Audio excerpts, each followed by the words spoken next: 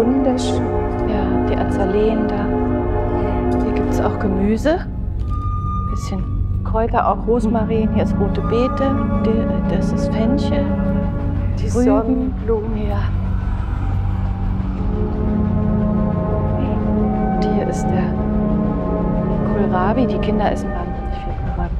Die herrliche Zeit, die wir gemütlich im gastlichen Hause Haus verlebten, immer mit zu unseren schönsten Urlaubsländern gehören. Im Osten steht unser Morgen. Herzlichen Dank für eure nationalsozialistische Gastfreundschaft. Heil Hitler. Heil.